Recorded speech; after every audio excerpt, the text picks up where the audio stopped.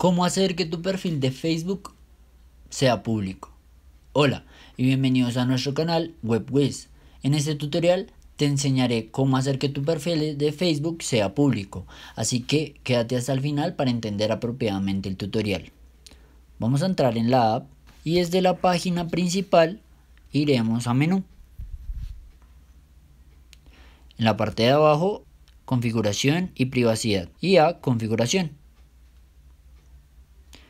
Vamos a bajar hasta el apartado de público y visibilidad. Aquí podremos seleccionar con exactitud qué información queremos que sea pública. Como la información básica, cómo pueden encontrarte y contactarte los demás, publicaciones, historias,